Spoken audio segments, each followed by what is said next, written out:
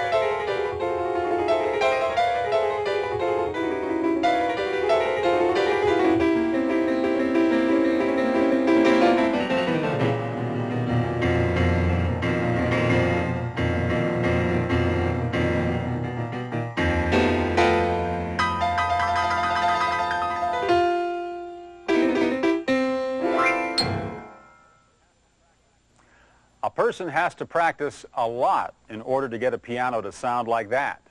If you really want to appreciate what a keyboard can do, think about the limited number of notes that a person can play at one time on a string instrument like a guitar. And consider also that an instrument like a piano is big enough for two.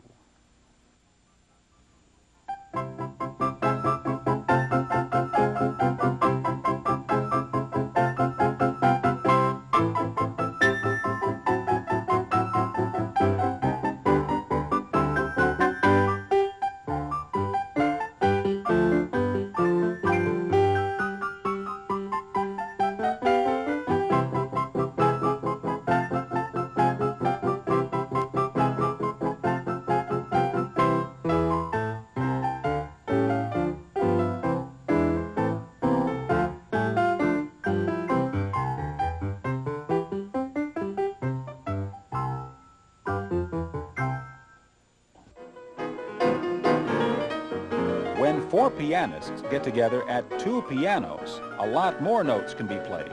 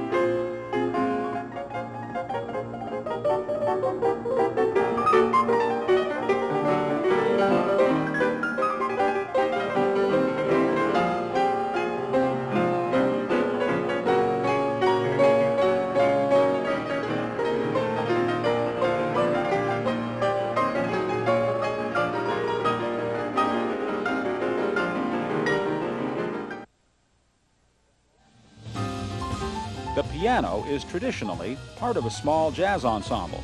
The performer not only fills in harmonies, but also has a chance to be creative while improvising, that is, making up music on the spot.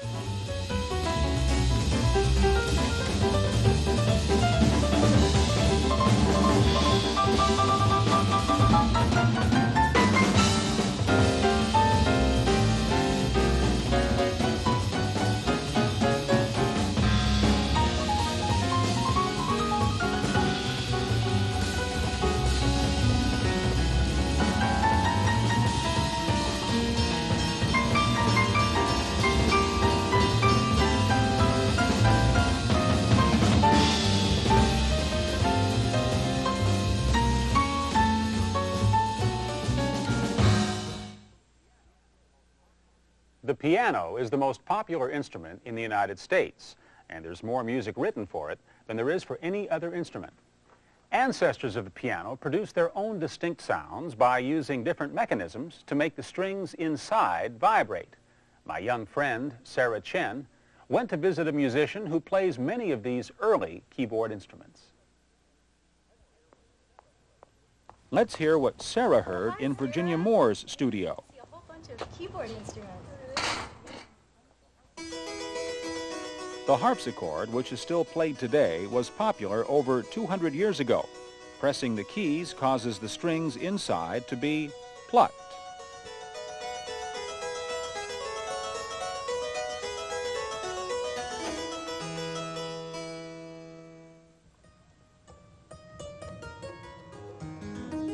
The clavichord, which was popular at the same time as the harpsichord, produces sound when metal blades strike the strings.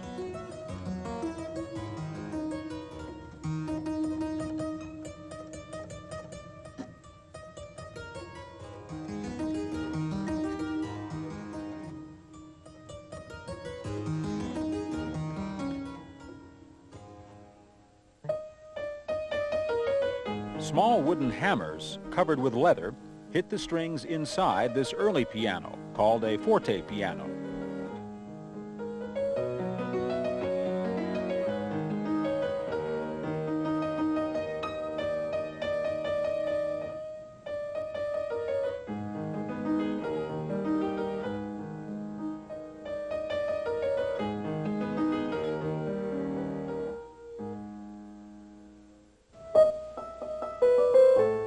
This is the acoustic piano sound you're accustomed to hearing.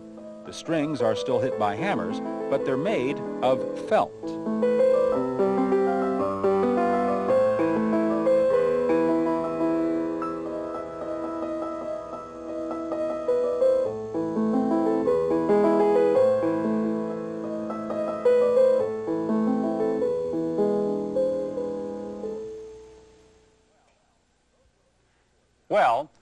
Those were some keyboard sounds from the past. Here's a piece of 20th century piano music that I think you'll find interesting. It was written by the American composer John Cage.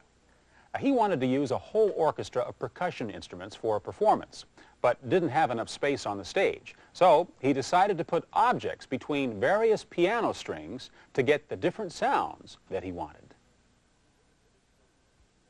In this particular piece, he suggested the use of screws, bolts, and strips of rubber. The piano music tells the performer where these objects should be placed. The piano is now called a prepared piano.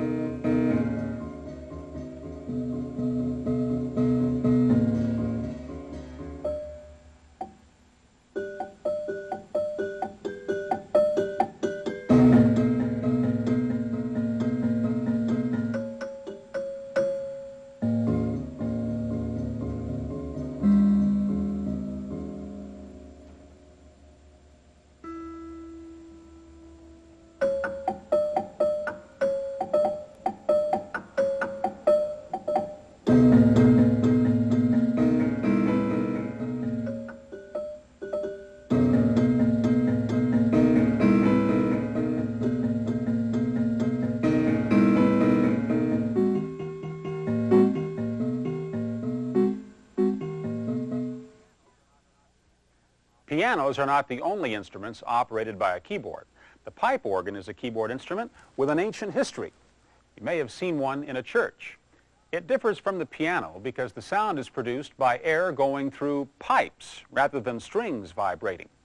An organ can have one or more keyboards and a set of pedals played by the feet. When an organist presses a key, an opening is created which allows air to be driven through a particular pipe or pipes. This creates the sound.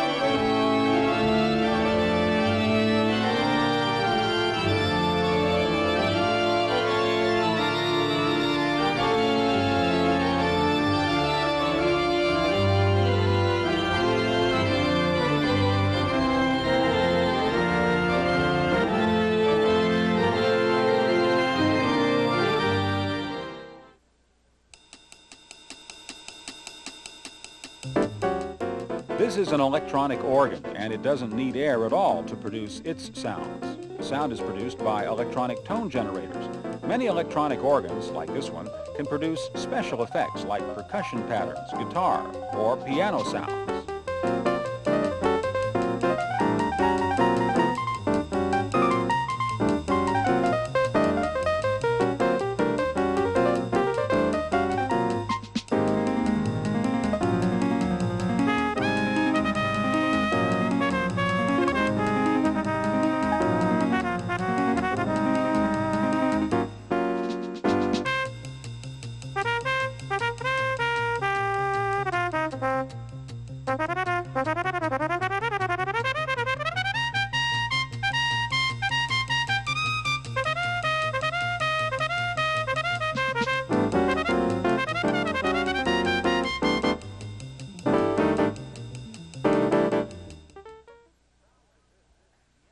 Sounds of this piano are also produced electronically.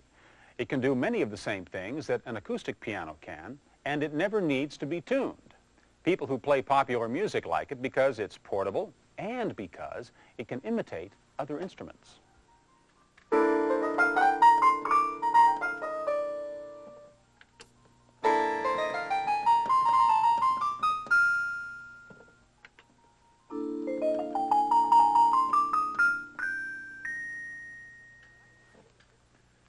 In the 1950s, an electronic instrument was developed that changed the way people composed, performed, and listened to music. It's had an especially strong impact on the popular music field. That instrument is the synthesizer, an electronic marvel capable of imitating any musical instrument. It can also bend pitches, create unusual sounds, trill, screech, transpose, and create just about any kind of sound that the human mind can imagine. And how is this all controlled? Usually by keyboards. Don Muro is a concert synthesist. That is, he performs all kinds of music in concert on one or more synthesizers. Because Don is also an organist, he's able to play two synthesizers with his hands and a third one with his feet.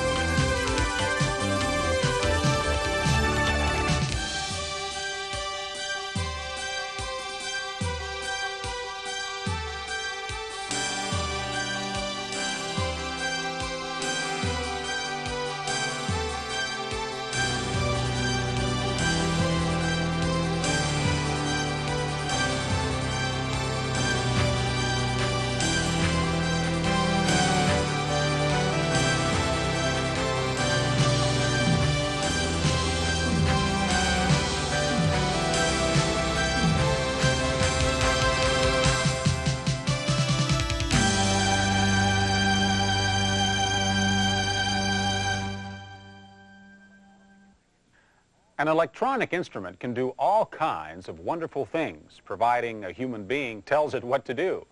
Keyboard instruments can be difficult to master because the player must have nimble fingers, good coordination, and be able to read lots of notes at the same time.